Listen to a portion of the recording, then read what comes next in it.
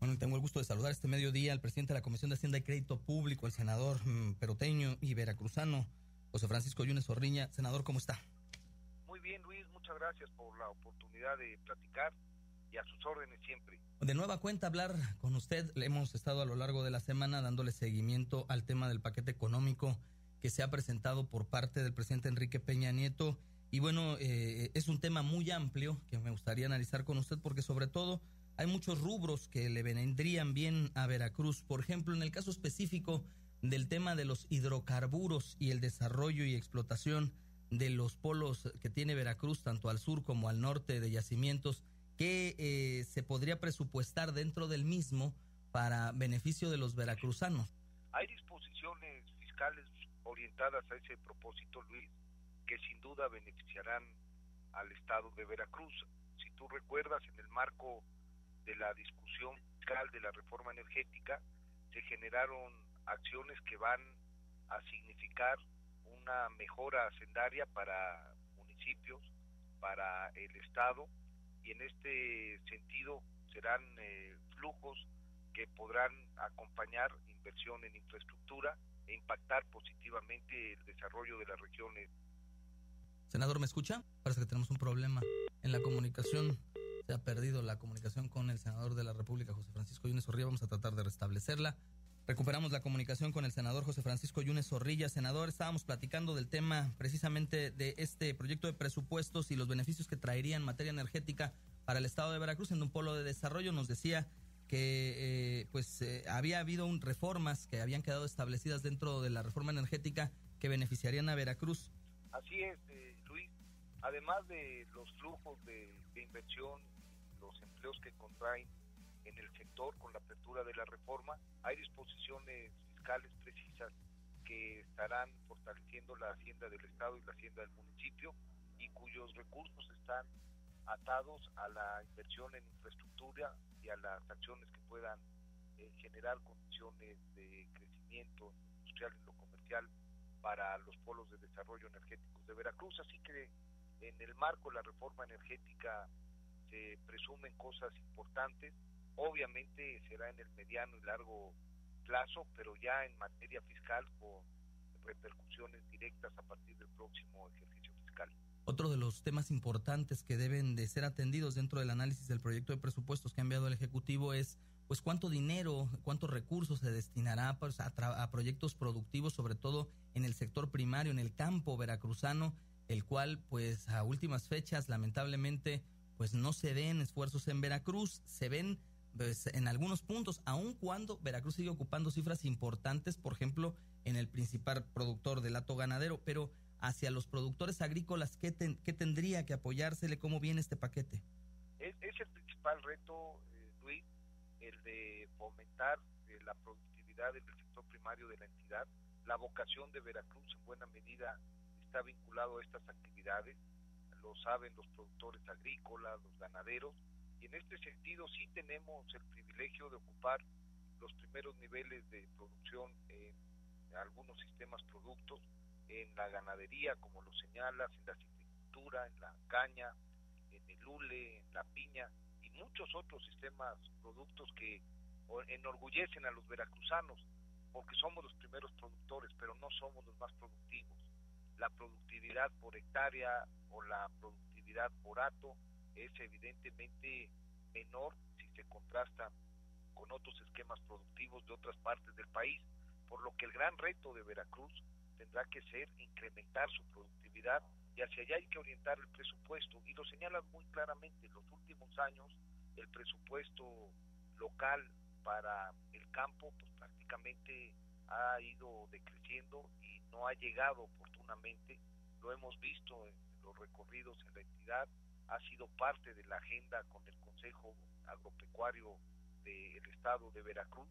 Hemos logrado fundamentar algunas agendas y ahora desde el Senado de la República, particularmente de la Comisión de Hacienda, estaremos atentos a que este sector pueda ir acompañado por lo mucho y muy importante que hacen con recursos que incrementen esta productividad. Y porque además este Luis como bien lo sabemos hay zonas de la entidad que en la medida en la cual le vaya bien al campo de la región pues evidentemente se genera una una derrama económica en el comercio, en los servicios, genera prosperidad.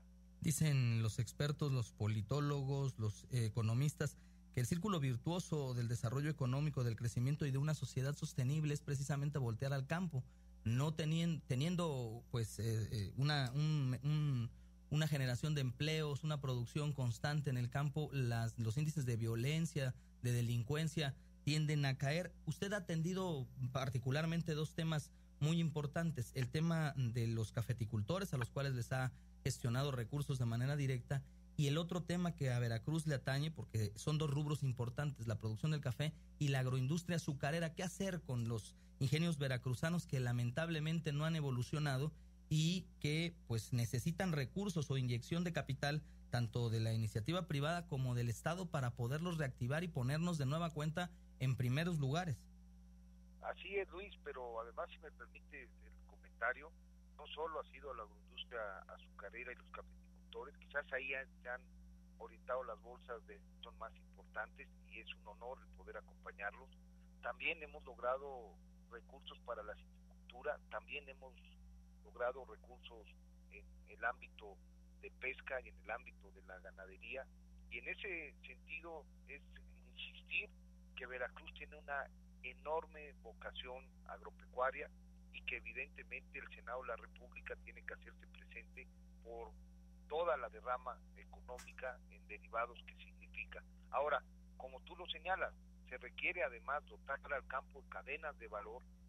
Esta nueva propuesta, esta iniciativa de ley que está presentando el presidente de la República para generar zonas económicas especiales, tiene esta misión, busca este objetivo y evidentemente estará beneficiando a las regiones que puedan calificar de entrada, por ejemplo, la del istmo de, de, será una de las que en primera instancia estén ubicando a Veracruz. Posteriormente estaremos enlistando a todas las regiones que cumplan con estos requisitos, que es el de generar desarrollo regional y desde la perspectiva de la economía y de la remuneración, de manera integral impactar eh, para bien eh, la convivencia y tratar de evitar condiciones de inseguridad y de violencia que a nadie satisfacen y a, que todos, y a todos nos lastiman.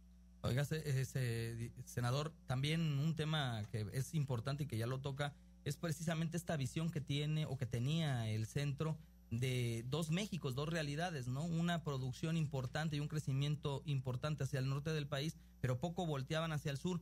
En este proyecto de presupuesto se contemplan estos esquemas de regiones. A Veracruz, en ese, en ese punto, ¿qué tanto le beneficiará este esquema? ¿O seremos de nueva cuenta un caldo de cultivo? ¿Seremos un eh, escenario para experimentos o para proyectos que luego, desafortunadamente, no impactan como se desearía? Así es, Luis. No, en, primer, en primer espacio hay que votar la ley. Es una iniciativa que envía el presidente de la República y que parta de este reconocimiento que tú muy bien señalas que hay regiones pobres y regiones ricas cohabitando en un mismo país y que en buena medida se debe a sesgos presupuestales que han favorecido, por ejemplo, al norte del país en detrimento del centro-sur o el sureste nacional. Para generar que haya una disminución en la brecha de estas diferencias es necesario propiciar condiciones de convergencia económica, como técnicamente se le conoce en el ámbito de desarrollo regional. Y para que esto sea factible, toda vez que el mercado es insuficiente, se requiere de la ayuda presupuestal del gobierno.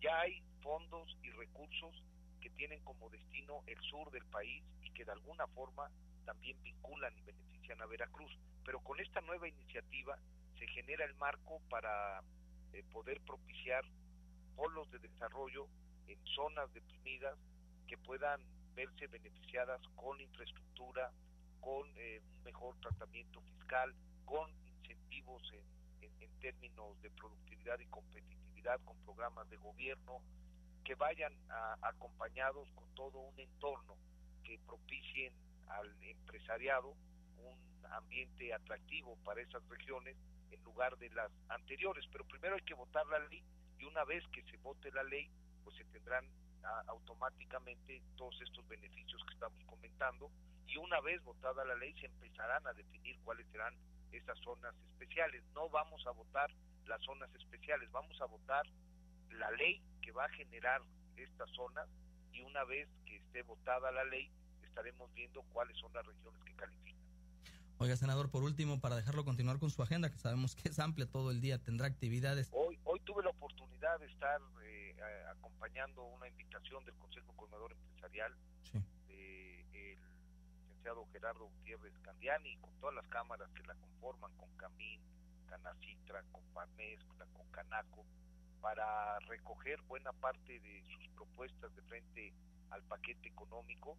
La verdad es que eh, escuchar de la voz del empresariado y de los industriales nacionales un reconocimiento a la sensibilidad del gobierno de la República para poder flexibilizar y para poder eh, rectificar aquello que en términos fiscales no hubiese caminado bien después de la reforma del 13 es sumamente halagüeño, voto de confianza al gobierno de la República y nosotros como fracción parlamentaria vinculada al presidente de la República, pues estaremos muy atentos a concretar en la votación esa, esas eh, modificaciones. Pero maliciosamente y maliciosamente se quería ventilar eh, por ahí ningún acuerdo de quién sería el candidato en el 2016. Yo estoy esperando los tiempos para enlistarme y competir. Me parece que el calendario político, económico, social de Veracruz exige ya determinación y hay que generar presencia en el día a día y en este sentido estoy dispuesto a participar y esperar los tiempos, pensando en lo mejor que le pueda significar a Veracruz y en ese orden posteriormente al partido. Pues le agradezco a José Francisco Yunes Zorrilla, senador, presidente de la Comisión de Hacienda y Crédito Público del Senado, por tomar la línea telefónica y platicar con el auditorio en contacto. Que tenga buena tarde. Buena tarde, Luis. Muchas gracias.